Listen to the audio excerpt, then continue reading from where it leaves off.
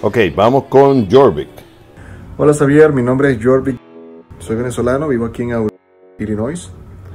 Eh, mi pregunta es muy simple, ¿no? Yo tengo, mi padre es venezolano también, él a raíz de toda la situación emigró hacia Colombia. Él tiene 70 años, vive con su esposa en Cúcuta, pero lamentablemente ya tiene 3 años, casi, donde no ha podido estabilizarse económicamente. Como consecuencia de eso, eh, sus hijos, nosotros intentamos ayudarlo lo más que podemos. Eh, sin embargo, la cantidad de dinero que le podemos enviar mensual, debido a nuestros propios gastos, yo tengo dos hijos, mi hermano tiene tres y cada uno tiene su familia y sus gastos, es muy limitada. No pasa de 300 a 400 dólares al mes. Eh, últimamente, el, el, gran desafío ha sido intentar ayudarlo a conseguir alternativas para generar ingresos y para eh, siendo que él ya está en una edad bien avanzada, que no consigue, no está, eh, digamos, no es atractivo para el mercado laboral. Y estamos buscando en este año, en este momento, buscar cómo ayudarlo o bien sea eh, a tomar alguna decisión, porque requiere un esfuerzo importante de disminuir el entorno, la calidad de vida que él estaba acostumbrado en Venezuela. Entonces yo no sé si tienes alguna sugerencia sobre cómo tratar aquellos casos o cómo ayudar a las personas que han pasado por un estatus de vida un poco mayor y ahora están siendo obligados a, a, vivir un poco más limitados y esa transición no es fácil y eso conlleva una serie de consecuencias si no, si no se, eh, se gerencia bien. ¿no? Eh, y las consecuencias principalmente son financieras para quienes estamos a su lado y para los que queremos que él entienda que bueno, que hay que ajustarse hasta donde la cobija alcanza, ¿no? Arroparse hasta donde la cobija alcanza. Entonces, no sé si tienes, no sé si está dentro de tu eh, alcance de, eh, de sugerencias, eh, cómo lidiar o cómo ayudar principalmente a esas personas que han pasado por ese proceso y que necesitan tal vez recomenzar, sobre todo en una edad tan avanzada. Es un poco la situación actual. Gracias. Jorvik, eh, mira, te voy a dar varias opiniones. Son opiniones, tómala dentro de este proceso que estás haciendo de, de buscar información, data, para poder tomar la mejor decisión. Y te voy a... Entiendo perfectamente por lo que estás pasando, porque lo he pasado también. Y entiendo perfectamente lo que está pasando tu padre, porque lo he pasado también en diferentes formas, pero el, el principio es el mismo. Mira, hay una cosa interesante que hay que entender primero que todos debemos entender. Cuando nosotros enfrentamos una, una crisis, una, un cambio que no esperábamos, que nos afecta los paradigmas que teníamos establecidos, nos mueve el piso, como es el caso de tu padre, el, tema de Venezuela. A mí, por ejemplo, me pasó con, con, un negocio que dice que me movió el piso y eso tuvo consecuencias que rompieron mi paradigma en su totalidad. Uno pasa como uno, en inglés le llaman grief o aflicción.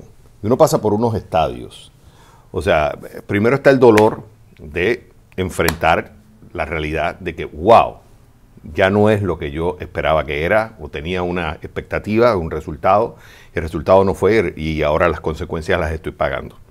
Después pasamos al odio. Ah, es otro el problema. ¿Por qué sucede esto? Y empezamos a complain o a quejarnos. Después viene el tema de la negociación. Bueno, como ¿Qué pasa si puedo sacar un poco? En esa negociación lo que estamos tratando de, como no queremos aceptar, estamos buscando cómo podemos mantener lo que teníamos, aunque sea un poco, algo.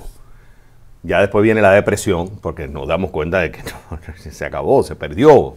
Eh, es gente que ha invertido y perdió plata. En mi caso, en el negocio. Eh, y otras cosas que he enfrentado, como incluso los problemas existenciales de la, vida y la muerte. Y después viene el quinto proceso, que es la aceptación. La gente, mucha gente, hasta que no pasas el estadio de la aceptación, o sea, que aceptas la realidad, van a estar en una pelea constante.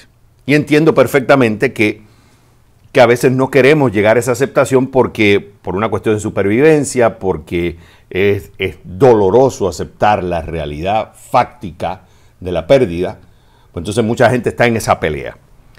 Hay que ver si tu padre está en esta, digamos, en estos cuatro, estas cuatro stages eh, que viene siendo el, el previo a la aceptación. Entonces, claro, en la medida que tú estés en el dolor, el odio, la negociación, la depresión, no vas a aceptarlo. Lo que hay que entender con esto es que hay un proceso para llegar a este punto, que es el que queremos, que es aceptarlo. Acuérdate que por supervivencia a veces no queremos aceptar las cosas, no las queremos aceptar y no las aceptamos. Pero una cosa es que veamos una oportunidad que a veces existe. Nosotros queremos que otras personas acepten algo y esa persona está viendo que hay una oportunidad. Pues entonces hay que buscarla. Y otra cosa es que no hay oportunidad. Simplemente, this is, the, this is reality. Y cuando te cae esa realidad es un, es un peso tan grande que la gente le tiene miedo. Entonces, hay que ver si tu padre todavía está buscando opciones, lo cual a lo mejor no las hay. Y eso como consecuencia no quiere entrar en este estadio de la aceptación. Y hay que aceptar las cosas. Y esto también tiene consecuencias. Y por una experiencia personal, que no voy a contar tampoco, pero una experiencia personal a mí me pasó que había una persona que vivió una crisis existencial complicadísima, un familiar cercano, donde estaba en todos estos estadios y lógico, eh, tenía que vivir con un problema existencial. No lo podía, no lo podía mover por ningún lado, no había opciones, simplemente estaba con él. Punto. No lo podía remover. Entonces tenía que entrar, aceptarlo. Pero no lo quería aceptar. Entonces el dolor era, era difícil. ¿Qué buscaba? De alguna forma que la aflicción llevársela a otros. Porque como yo tenía ese problema y tengo que vivir con él, pues yo quiero que los otros lo tengan también para que entiendan mi sufrimiento. Y eso hay, hay, momentos donde tú tienes que decir stop. I love you. I will protect you. Yo te voy a proteger. Yo te voy a dar la seguridad necesaria, el amor y la protección. Pero no, lo siento. No me vayas a enfermar a mí también. Si tú no quieres aceptar la realidad fáctica que tenés, eso no te da permiso a ti de hacerme daño. Porque me, me haces daño no tan solo emocional, personal, profesional, económico, y eso tiene consecuencias a otras personas que también estás haciéndole daño. Entonces no lo puedo aceptar. Entonces hay momentos donde tú tienes que decir enough. Por eso es muy importante entrar en ese proceso de aceptación. Pero también hay que entender que toma un tiempo. Ahora, un tiempo. El tiempo puede ser de horas, semanas, meses, años, no sé, ya es una cuestión de los profesionales de la psicología, pero entiendo que por sentido común, que uno, hay un, hay un tiempo de grief, hay un tiempo de grief, hay un tiempo de aflicción. Por eso es muy importante entender estos estadios. Pero hay un tiempo. No puede ser eterno. Hay que ponerle punto final. Entonces, habiendo dicho esto, hay, dos, hay tres challenges. Challenge le llamo como problemas a, solucionar, que es lo que tú estás enfrentando y que lo he enfrentado yo también. Y es, primero, tienes el tema de económico. Hay necesidades ilimitadas los recursos son escasos. La perfecta, el, escenario ideal sería que todo el mundo esté satisfecho. Que cumplamos con todas las expectativas que, tienen todos. La de tu padre, la de tus hijos, la de tu esposa, la tuya, la de tu hermano. esa sería el ideal. Que no existieran problemas, que no estuviera sucediendo la situación económica en Venezuela, que tu padre no estuviera viviendo en, Colombia, que no, no, tenga que enfrentar que perdió, o bueno, perdió, pero ahí viene plata por otro lado. Ese sería el ideal, pero la realidad es que no es así. Por eso hay que aceptar the reality. This is what we have. Y nosotros tenemos necesidades ilimitadas, pero nuestros recursos son escasos. Entonces tenemos que tratar de buscar cuál es el win-win para todos, cuál es el ganar-ganar para todos. Entonces hay que definir lo que es necesidad básica. Entonces hay que definir de tu padre cuál es la necesidad básica que él necesita cubrir en el presente y en el futuro, porque no olvides que tiene 70 años y que mañana van a haber otras necesidades médicas, porque ¿qué va a pasar cuando se enferme? ¿Cómo cubrirlo? el tema del hospital, los doctores, etcétera, etcétera. Entonces, hay que cubrir las necesidades básicas. Las necesidades, tú tienes que definir, o sea, si yo estuviera en tu zapato, ok, ¿cuáles son las necesidades básicas que yo tengo que cubrir en el hogar? En mi hogar, digamos, yo, tú. De mi esposa, de mis hijos y de mi padre. Lo básico, no los lujos. Lo básico para sobrevivir. Bueno, el techo, la alimentación, etc. Y ahí empiezas, ahí tienes que definir cuáles son. Entonces, eso es lo primero que hay que cubrir. Como dices tú, la cobija cubre hasta aquí. Lo demás que se va, pues no, no entra dentro de la cobija. Entonces, primero hay que definir esas necesidades, eh, eh, las necesidades imperantes, imperantes con los recursos que tenemos, porque hay que entender que hay unos recursos limitados. Hay un problema que la gente piensa que uno está en Estados Unidos, que escupes y la plata sale del piso. La gente cree que el ITM es que te están regalando el dinero. Y es así. La gente que vive en otros países piensa que tú estás en Estados Unidos viviendo la vida loca, que todo es fácil y que el dinero entra y que te lo regalan, que tú vas al banco y te lo regalan y no tienes que pagar. No, aquí hay que trabajar. Tú quieres tener lujos, you have to work for it. Y cuesta. Entonces, los que están allá dicen, ah, tú has tenido una vida fácil. Porque es así, porque me lo, he pasado, me ha pasado a mí también. No, tú tienes una vida fácil. Tú tienes suerte. No. O sea, a ti la vida te ha dado suerte. Te lo ha regalado. Estás en Estados Unidos. Da. Nosotros acá sacrificándolo. Bueno, acepta la realidad. This is what we have. Pero la realidad es que en Estados Unidos you have to work. Para lograr las cosas que tenemos, tú tienes que trabajar. Y mientras otros están con la vida loca y festejando y viviendo, viendo televisión o haciendo 20 cosas, uno está trabajando para producir lo que tiene en el presente y en el futuro. Entonces, esto es lo que tenemos, esto es lo que hay, esta es la realidad. Estos son los recursos que hay y hay que satisfacer las necesidades básicas con los recursos limitados que tenemos. Porque la palabra clave aquí es prioridad. ¿Cuál es la prioridad? Entonces tú tienes que definir cuál es la prioridad. Entonces, lo primero que haría es definir la prioridad. Ahora, hay otro tema, voy a dejar de comunicación por un momento. Tienes el tema de la familiaridad, que ese es otro challenge. Cuando digo familiaridad, hay unas expectativas. Ah, bueno, como tú eres mi hijo, hay unas expectativas. Como tú eres mi padre, hay unas expectativas. Como tú eres mi esposo, hay unas expectativas. Y a veces esas expectativas van por encima de la realidad actual o de los recursos que tenemos. Entonces tú tienes que definir y ver, tratar de ver cuáles son las expectativas que tiene tu padre. Y ver si tú las puedes llenar. Entonces como personas adultas tenemos que ver cuáles son las expectativas que estamos teniendo y cómo las podemos satisfacer.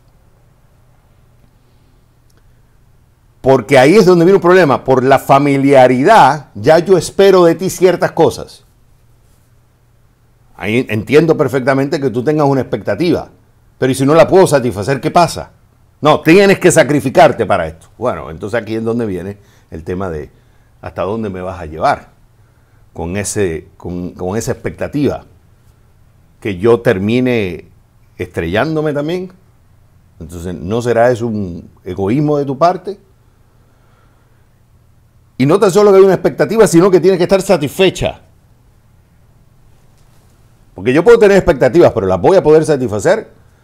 Entonces, la diferencia entre un niño y un adulto es que el niño hace lo que quiere hacer, el adulto hace lo que se debe hacer. Ok, yo tengo expectativas altas, pero a lo mejor no las voy a poder satisfacer ahora. Puede ser que las pueda satisfacer en el futuro, también. No, quiere, no necesariamente tiene que ser ahora. Porque a veces uno dice no, pero no es porque no quiero, es que no se puede porque hay otras prioridades. Aquí entra el tema que te decía, económico. Entonces, uno quiere llenar expectativas, uno quiere satisfacerlas, pero hay que entender que hay unos recursos escasos, que también tengo que estar pensando en el futuro, no tan solo en el presente. Por eso definamos cuáles son las prioridades inmediatas, lo urgente y lo importante. Lo importante en urgente lo ponemos también en el básquet, pero eso se ataca en el futuro. Ahora vamos a atacar lo inmediato, lo urgente e importante. Y eso lo vas a tener que definir tú, porque no lo sé, pero yo te voy dando como una estructura, una arquitectura, digamos, de, de lidiar con el problema.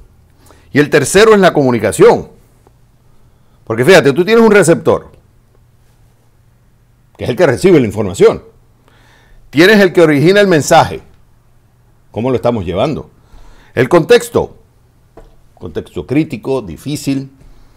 Y los medios que se están utilizando para llevarlo. No es lo mismo yo hablarte personalmente, tocarte, estar contigo, vivir contigo esas 24 horas, que estarme comunicando a través de Skype o a través de Zoom, a través de texto.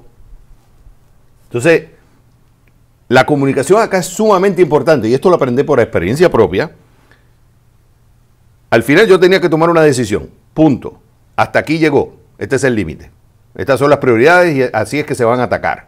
Había unas expectativas que se querían llenar, pero desafortunadamente no había los recursos, ni tiempo, ni dinero, ni paciencia, ni sentimientos para lograr eso. Bueno, entiendo tus expectativas, pero no van a poder ser satisfechas ahora. Entonces hay que, hay que priorizar. En eso estaba claro. Pero ¿dónde fracasé en la comunicación? No fui bueno comunicando.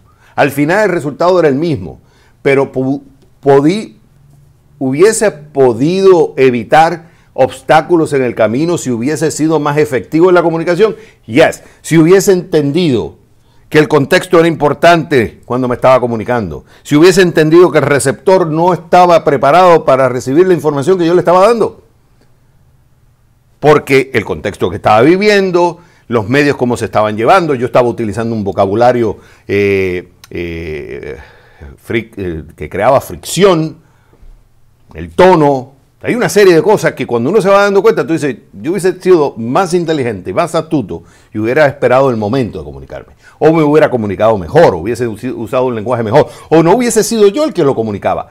Buscaba a otro que fuera el que lo comunicara.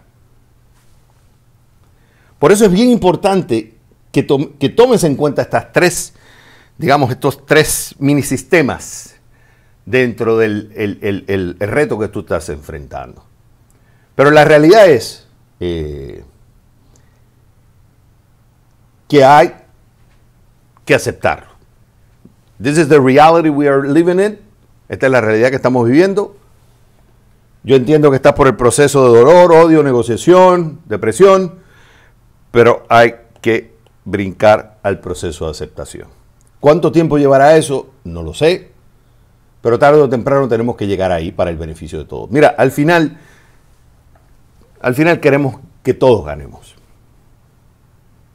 Yo creo que la, decisión más salomónica es que todos nos vayamos ajustando a la realidad que estamos viviendo, tanto la familia, la esposa, los hijos, el padre, todos nos ajustemos a la realidad que estamos viviendo y caminemos como equipo. Está claro que tenemos expectativas y las vamos a llenar y queremos satisfacerlas y lo vamos a hacer. Pero vamos a hacerlo poco a poco, paso a paso, juntos. Lo que no puede ser es que en una balanza que queremos que esté centrada, está uno empujando hacia abajo, el otro empujando hacia abajo, porque lo que vamos a tener es un swing, es una inestabilidad, mayor volatilidad. Y si esa volatilidad la tienes en un contexto que ya de por sí es volátil, se complica la situación. En inversiones le llaman systemic risk and unsystemic risk. Ataquemos los riesgos y los problemas que podemos controlar. Lo que no podemos controlar, so be it, como dicen en inglés. Entonces, tú no puedes controlar el problema de Venezuela. Pues tu padre tiene que entender que eso no es un problema tuyo. Que él esté viviendo en Colombia. Eso no es un problema tuyo. Que hay que mantener un estándar de vida. Que tú quisieras satisfacer ese estándar de vida. yo no dudo que tú como hijo quisieras darle lo mejor a tu padre. Pero no se puede. No se puede. Entonces, tratemos de buscar aquello que podamos satisfacer nuestras expectativas basado en los recursos que tenemos. That's it. En la medida que vayamos creciendo y vamos entonces de la mano, vamos construyendo ese camino, vamos entonces aumentando nuestras expectativas y vamos satisfaciéndolas. Pero mientras tanto, esto es lo que tenemos. Como dice la canción si del cielo te caen limones, hay que aprender a hacer limonada.